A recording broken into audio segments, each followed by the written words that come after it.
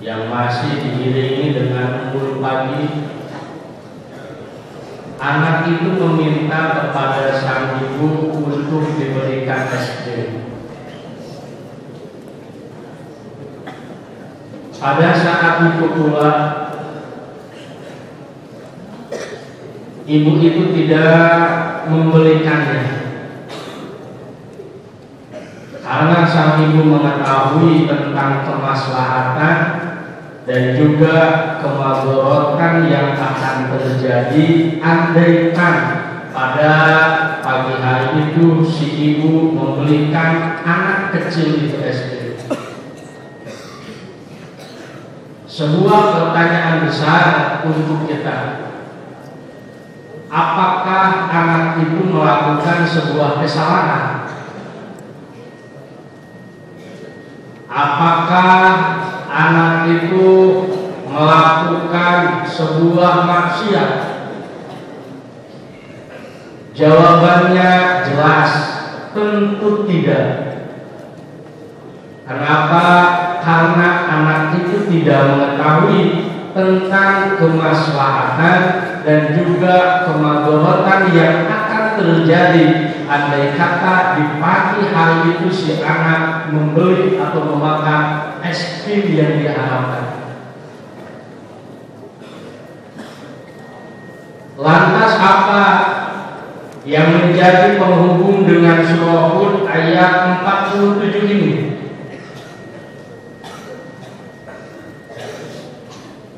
Miniatur kecil seperti itulah paradigma yang harus kita tanamkan dalam hati ketika menyikapi surah Hud ayat 47 di mana pada beberapa ayat sebelumnya Allah Subhanahu wa taala menjanjikan kepada Nabi Nuh alaihi salam akan menyelamatkan Nabi Nuh dan juga keluarganya dari banjir besar yang terjadi. Sehingga ketika banjir besar itu terjadi, yang kemudian banjir itu menenggelamkan anaknya Nabi Nuh alaihissalam yaitu kakak, maka seakan menyampaikan kesedihannya kepada Allah Subhanahu wa taala seperti yang dituangkan pada surah Hud ayat 45 Nabi Nuh alaihissalam menyampaikan kepada Allah Subhanahu wa taala Rabbi inna bni min ahli wa inna wa'daka haq wa anta ahkamul hakimin Allah Subhanahu wa taala Tuhanku Kanan adalah anakku dan dia termasuk sebagian daripada keluargaku. Sesungguhnya janjimu adalah sebuah hak dan engkau adalah dah yang seadil-adilnya menghakimi. Untuk menjawab daripada yang disampaikan oleh Nabi Nuh alaihissalam, Allah Subhanahu wa taala menyampaikan kepada Nabi Nuh bahwasanya jangan untuk Nabi Nuh alaihissalam meminta anak itu untuk selamat. Dan Allah menyampaikan bahwasanya kakak itu bukanlah sebagian dari keluargamu. Karena yang dimaksud dengan keluarga yang akan diselamatkan oleh kami Allah Subhanahu wa taala adalah orang-orang yang beriman kepada Allah Subhanahu wa taala dan orang-orang yang menerima akan nasihat-nasihat yang disampaikan oleh Nabi Nuh alaihi salam. Dan ketika Nabi Nuh alaihi menyampaikan kepada Allah Subhanahu wa taala bahwasanya kenapa Allah tidak alaihi salam sampai akhirnya Kanan ditenggelamkan itu semua berawal atau berdasar daripada Nabi Muhammad SAW yang tidak mengetahui akan hakikat daripada kudrat Allah Subhanahu wa taala. Tidak mengetahui akan hakikat kemaslahatan, kemaslahatan yang akan terjadi ketika seorang kanan ditenggelamkan oleh Allah Subhanahu wa taala. Dan ketika pada pun ayat 47 ini menunjukkan kesadaran daripada Nabi alaihi salam. Sehingga menyampaikan kepada Allah Subhanahu wa taala qala rabbi inni a'udzu bika an as'alaka ma laisa li bihi ya Allah jaga aku daripada meminta akan sesuatu yang tidak bermanfaat akan meminta sesuatu yang aku tidak mengetahuinya ibarat tadi anak kecil dia meminta es krim di waktu pagi kepada sang ibunda yang kemudian ibunda tidak memberikannya itu semua berangkat daripada ketidaktahuan anak itu. Akan kemaslahatan dan kemaslahatan yang akan didapatkan ketika es krim itu dinikmati oleh anak itu. Sehingga jelas ini bukanlah sebuah perbuatan dosa. Ini bukanlah sebuah perbuatan maksiat yang dilakukan oleh Nabi Nuh alaihi salam. Yang harus kita pahami adalah seorang rasul, seorang nabi itu adalah maksud terjaga daripada perbuatan dosa, baik itu dosa kecil ataupun itu dosa besar. Bil mukjizati uyidu takaruma wa ismatul bari lihukmin hutimah setiap rasul itu diberikan mujizat oleh Allah Subhanahu wa taala. Dan Allah Subhanahu wa taala ismatul akan senantiasa menjaga rasul itu daripada perbuatan dosa baik dosa itu kecil ataupun dosa itu besar. Kenapa semua itu terjadi? Semua itu terjadi karena pada saat itu kaum Nabi Nuh alaihissalam terbagi ke dalam tiga kelompok. Yang pertama ada kafirun yang harus kufur. Kaum Nabi Nuh alaihissalam yang jelas-jelas terlihat kekafirannya.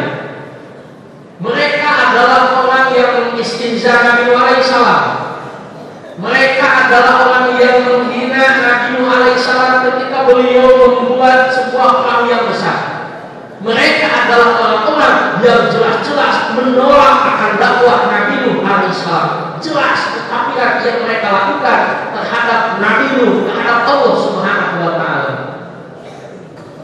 Yang kedua adalah wa mu'minun yadharu imanu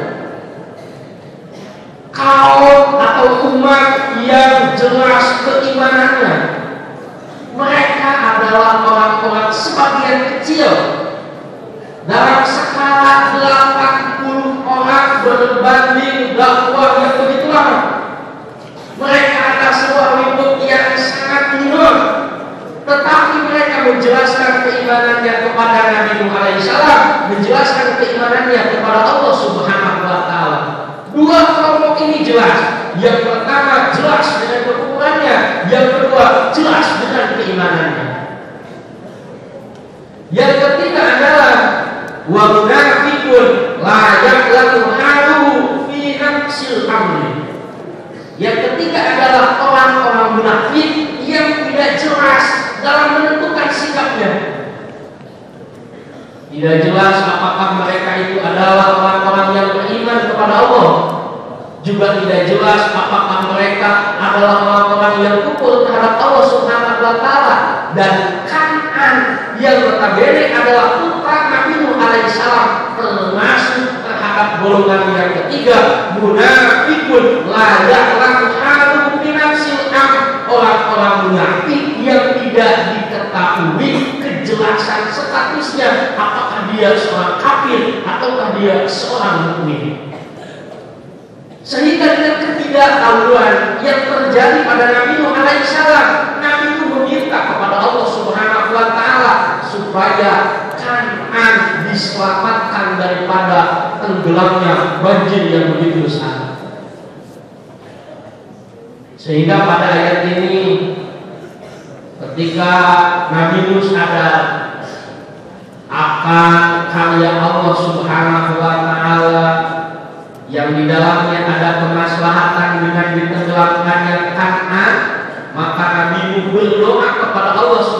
wa taala, "Ini aku zubika an askala kama laisa bihi ilmu." Ya Allah, jaga aku daripada meminta akan sesuatu yang aku tidak ketahui.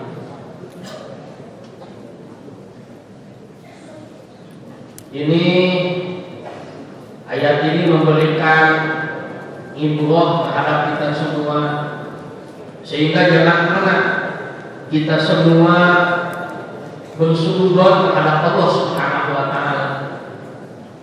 Rabbana ma khalaqta hadza batila. Tidak ada maha Allah yang salah. Semuanya benar, semuanya mengandung unsur hikmah dan keadilan dan apa takdir yang terjadi terhadap kita semua itu adalah hakikat kebenaran yang diberikan oleh Allah Subhanahu. Kita semua itu tidak akan lepas daripada takdir Allah. Mamin nafasin tubdi illa walau qadarun fi Tidak ada sebelah nafas yang keluar daripada rongga dada manusia kecuali di dalamnya ada takdir Allah Subhanahu wa taala. Menyikapinya. Akankah kita menyikapinya dengan syukur? Ataukah kita menyikapinya dengan kufur? Akankah menganggap itu adalah sebuah nikmat ataukah kita anggap itu adalah sebuah varian dan apa yang terjadi pada kita? Itu semua semata-mata adalah atar fikrillah tidak tidak lepas daripada fikrul Allah Subhanahu wa taala. La ilaha illallah la maujuda illallah. Di dia kieu ayeuna abdi tapak bahwa Allah Subhanahu wa taala. Menjauhkan diri daripada sumber itu adalah salah satu jalan untuk merajut kebahagiaan daripada Allah Subhanahu wa taala. Semakin kita menjauhkan diri daripada sumber kepada Allah Subhanahu wa taala, semakin hati kita akan meraih kebaikan. Semakin hati kita akan meraih kesenangan, semakin hati kita akan meraih ketenangan. Tiba-tiba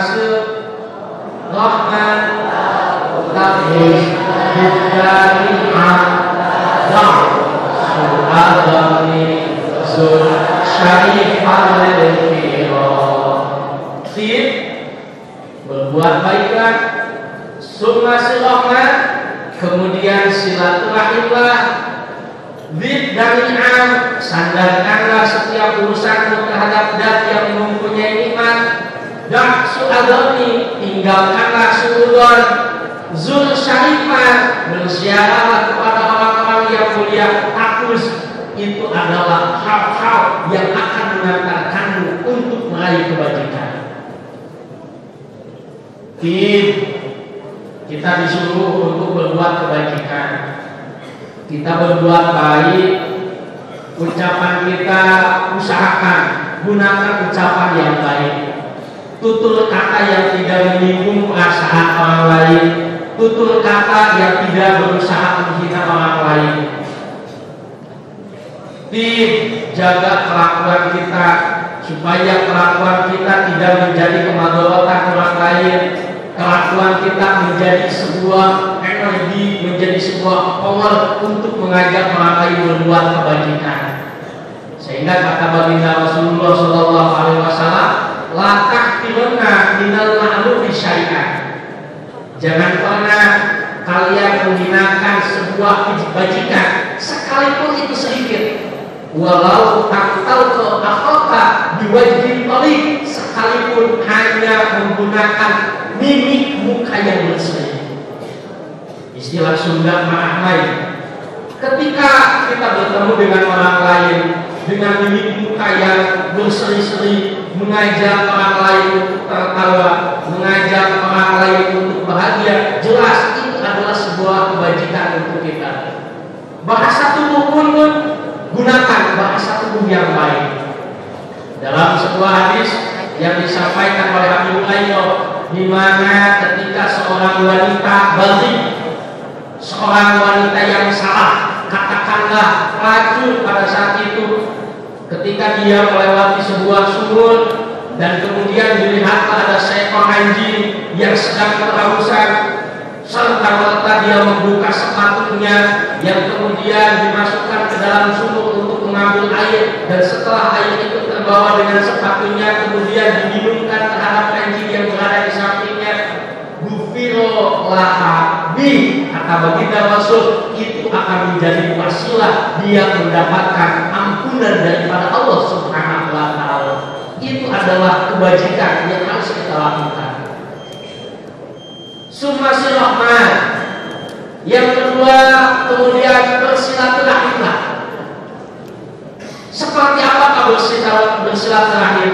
Apakah ketika orang kasih berangkat ke Bandung ketika orang kasih berangkat ke Garut ketika orang Garut datang Tasik ketika orang Bandung datang ke Tasik itu adalah sebuah silaturahim itu adalah sebuah silaturahim secara adat kalau itu dikatakan secara adat, hakikat daripada silaturahim itu seperti apa? Laisal wasil bil mukabi walakinnal wasil idza qata'at rahimuhu wasfaha. Tidaklah dikatakan sebagai silaturahim bil.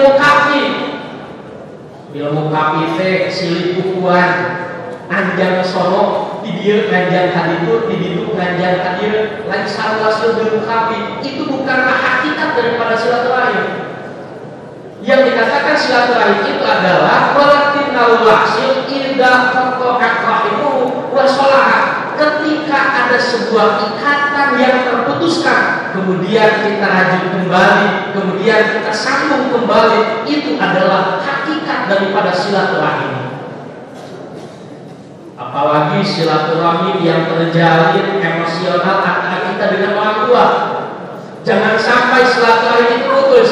Dan andai kata pun sempat putus maka secepatnya kita sambung kembali baginda Rasul lima akun summa lima akun summa lima akun man adroka abawaihi au ahadihima indal tilari falam yadkhulil jannah bodoh Sumpah bagi ampun terus bodoh Sumpah bagi ampun bodoh Orang yang bodoh itu yang seperti apa? Man adroka bawaini aw lima ketika dia menemukan orang tuanya baik itu kedua-duanya atau salah satunya ketika sudah menua malam yang kulir jannah tetapi orang tua itu tidak menjadi wasilah dia mendapatkan surga Allah Subhanahu wa taala jadi silaturahim itu pun termasuk wasilah untuk kita meraih kebajikan daripada Allah Subhanahu wa taala.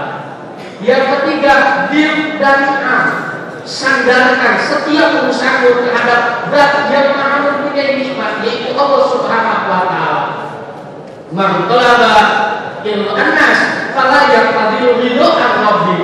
Tiap kali kita menyandarkan keriduan terhadap manusia maka jangan salah semua itu hanya akan menjadi tameng untukmu mendapatkan keridhaan daripada Allah Subhanahu wa taala.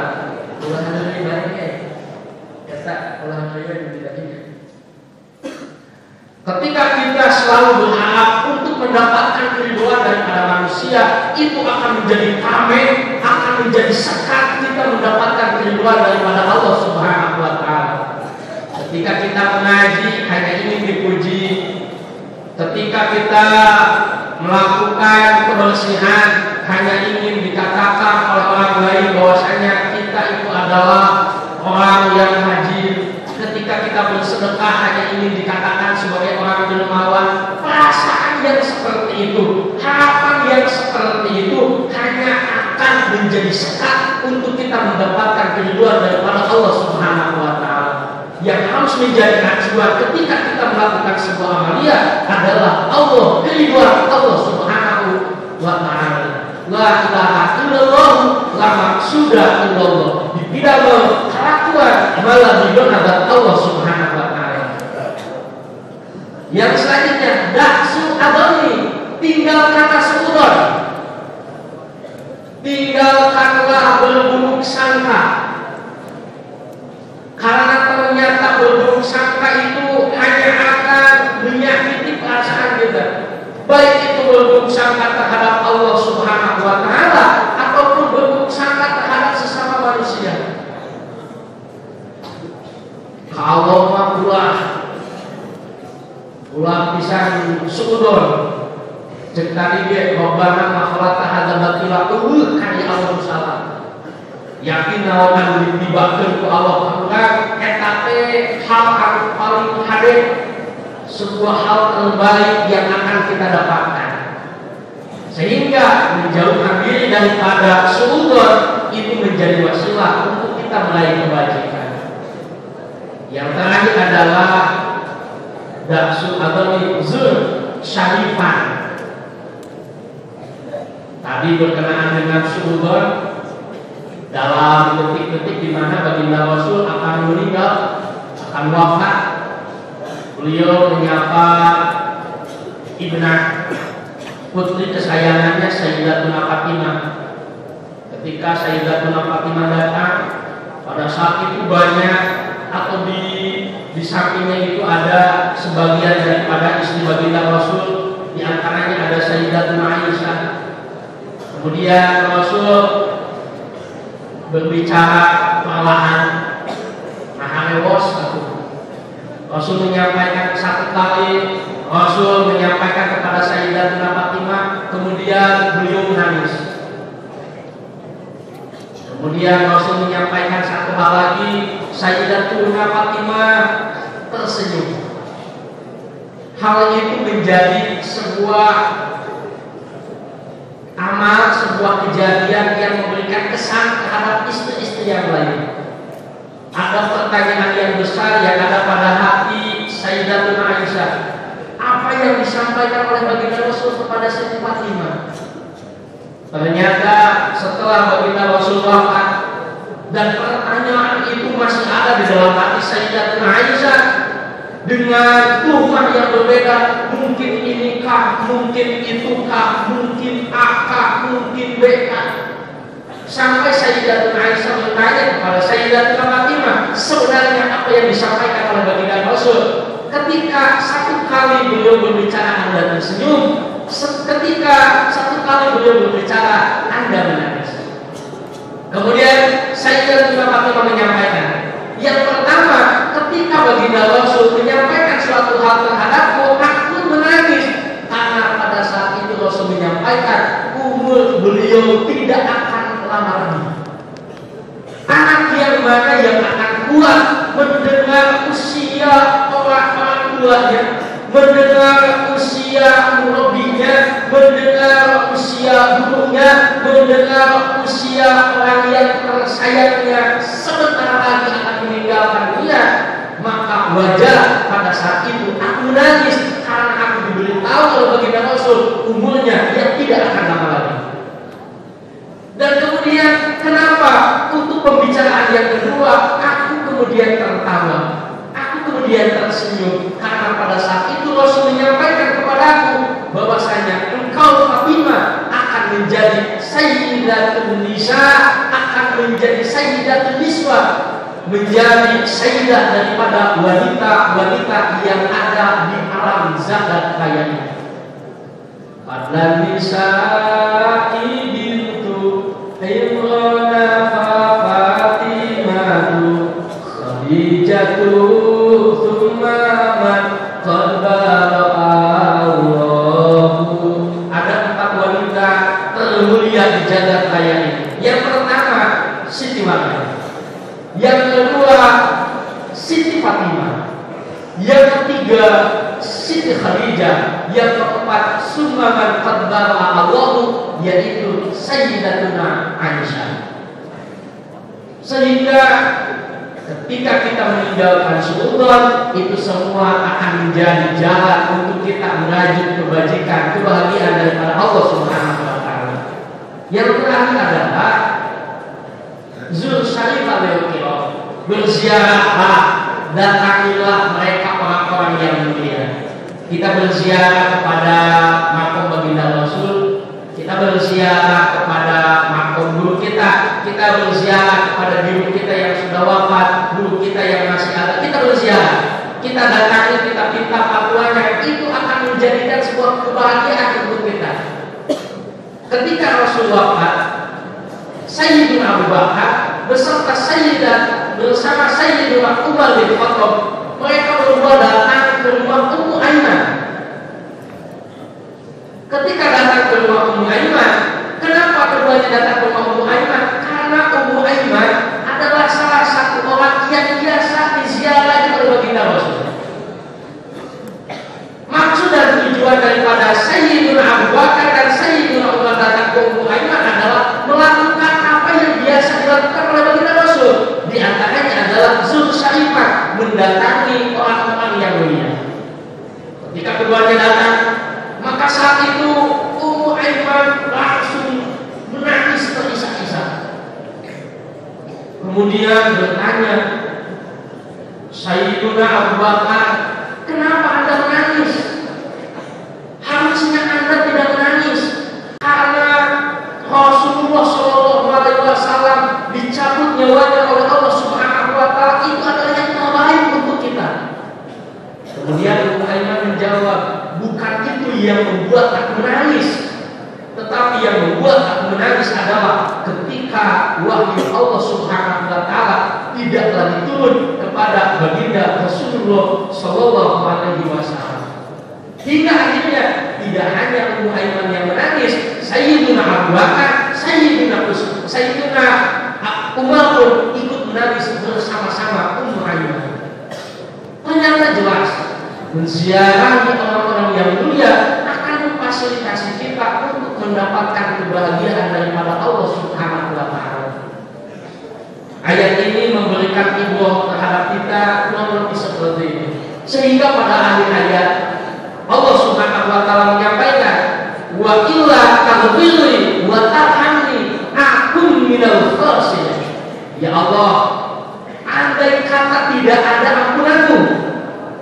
Ya Allah, andai kata tidak ada kasih sayangmu, akun minal khasirin. Tentu aku akan menjadi sebagian daripada orang-orang yang merugi di hadapanmu. Dengan adanya ampunanmu, dengan adanya rahmatmu maka aku mudah-mudahan dijauhkan daripada orang-orang yang merugi di hadapan Allah Subhanahu wa taala. Para santri rahimakumullah banyak hal yang bisa kita petik daripada Hud ayat 47 ini. Yang terpenting adalah marilah kita sama-sama meyakinkan bahwasanya apa yang terjadi pada diri kita ini adalah semata-mata takdir Allah Subhanahu wa taala dan ini yang terbaik untuk kita jauhkan suudzon terhadap Allah Subhanahu wa taala. Dan jangan lupa kita pun jangan pernah berhenti ila takdir untuk senantiasa meminta ampunan kepada Allah Subhanahu wa taala karena hanya dengan ampunan Allah karena hanya dengan rahmat Allah kita semua akan dijauhkan oleh Allah Subhanahu wa taala daripada kategori orang-orang yang akan mendapatkan kemuliaan. Shadaqallahul azim.